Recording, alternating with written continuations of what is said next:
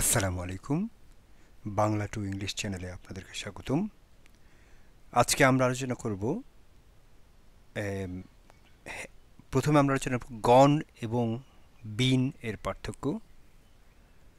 এরপর আমরা আরেকটা শব্দ একটা ওয়ার্ড বিইং বিইং এটার একটা একটা ব্যবহার দেখব। প্রথমে আসুন দেখুন গন এবং বিনের পার্থক্য। এই পার্থক্যটা বুঝতে হলে আমরা একটা উদাহরণ দিয়ে দেখি, তাহলে এই ব্যাপারটা অনেকটা ক্লিয়ার হবে। মনে করুন আপনি সাধারণত ঢাকায় থাকেন। এখন আপনি খুলনা গেছেন। তাহলে আপনি যদি বলেন I have gone to Khulna. তার মানে হচ্ছে আপনি খুলনা গেছেন এবং এই মুহূর্তে আপনি খুলনায় আছেন। এখন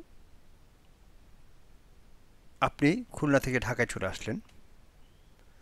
তখন আসার সাথে সাথে কেউ জিজ্ঞেস করল, তুমি কোথায় গিয়েছিলে? আপনি তখন বললেন I have been to Khulna. তার মানে আপনি খুলনায় গিয়েছিলেন, এখন আপনি ফেরত এসেছেন এবং এই মুহূর্তে ঢাকায় আছেন। তাহলে তখন আর গন হবে না, তখন হবে যে বিন যেমন আমি যদি যেমন বলেন, মনে করুন আপনার এক বন্ধু, সে কক্সেস বাজার গেছে এখন আপনাকে জিজ্ঞেস করল, মনে করেন তার নাম শিমুল। আপনাকে আরেকজন বন্ধু জিজ্ঞেস করল, শিমুল কোথায়? আপনি বলেন he has gone to Cox's Bazar মানে সে কক্সেস বাজারে গেছে এবং এই মুহূর্তে কক্সেস বাজারে আছে। আচ্ছা এরপরে কিছুদিন পরে কক্সেস বাজার থেকে শিমুল চলে এসছে। এখন ঢাকায় আছে। তখন তখন আপনাকে আবার বন্ধু জিজ্ঞেস করল শিমুল কোথায় গেছিল? ওকে তো কয়েকদিন দেখি নাই।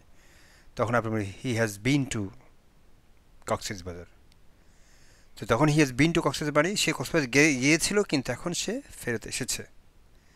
তাহলে এটি হচ্ছে গণ এবং বিনের ব্যবহারের পার্থক্য।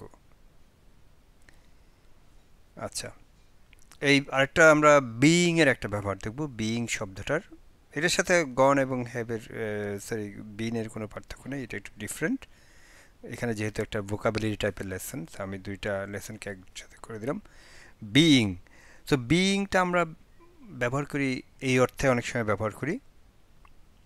মানে কোনো সময় কেউ একটু অন্যভাবে আচরণ করছে বিহেভ করতেছে, তখন আমরা বল, এইভাবে, তখন আমরা বিইংটা ব্যবহার করি। যেমন he is being selfish today মানে সে আজকে খুব স্বার্থপরের মতো ব্যবহার করছে।